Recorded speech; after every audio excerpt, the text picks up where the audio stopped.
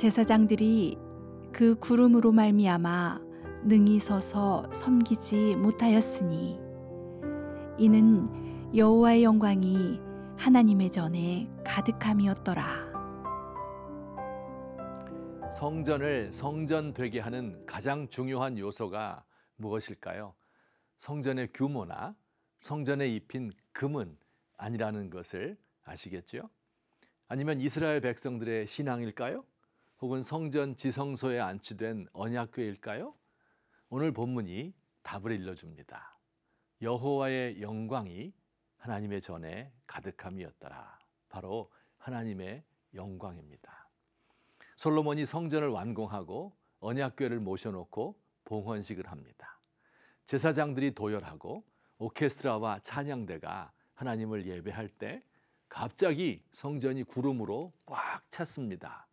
그 구름을 가리켜 여호와의 영광이라고 부른 것입니다. 이 구름은 하나님의 임재를 상징하는 것입니다.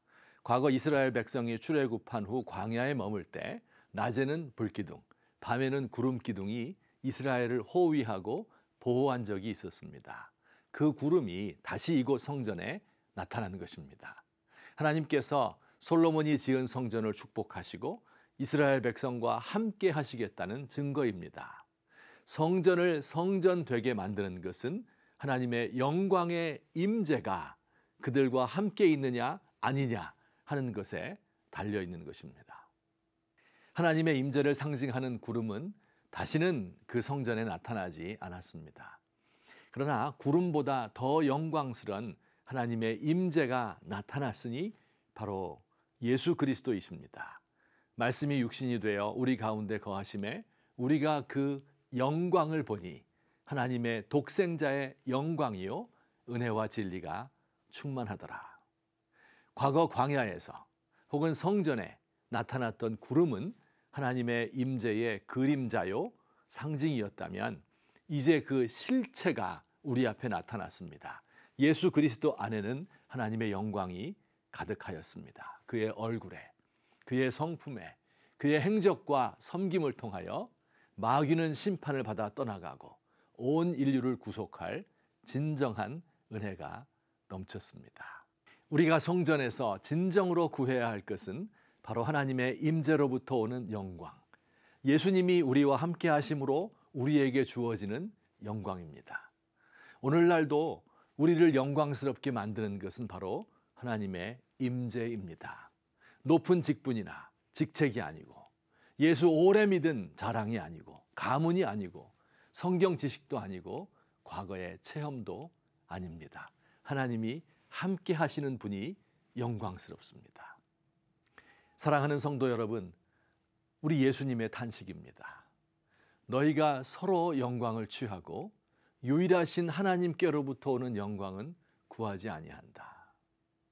엄마가 저녁 식사를 준비하였습니다. 갈비찜에, 동태전에, 매운탕에, 햇 열무김치에 진수성찬을 차려놓았는데 밖에 나가서 햄버거, 컵라면으로 끼니를 때우는 자식을 볼 때 엄마의 마음이 어떻겠습니까?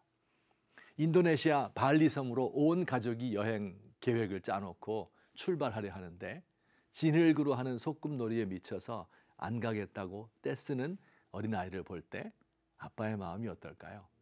사람으로부터 오는 세상의 영광에 취하여 예수님이 주시는 영광을 하찮은 것으로 여기는 것 얼마나 어리석은지 모릅니다.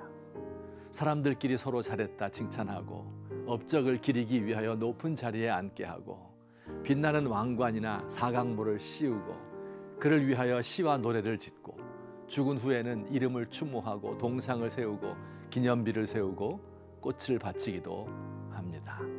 하지만 이는 모두 잠시 있다가 없어지는 영광, 욕된 영광일 뿐입니다. 화려하고 웅장한 솔로몬의 성전도 하나님의 영광이 떠나가면 무용지물인 것을 압니다.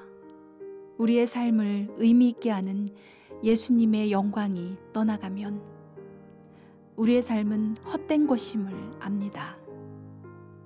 주여, 나의 삶 속에 우리 조국의 교회마다 하나님의 임재가 있게 하시고 예배 시간마다 그 영광을 맛보게 하소서.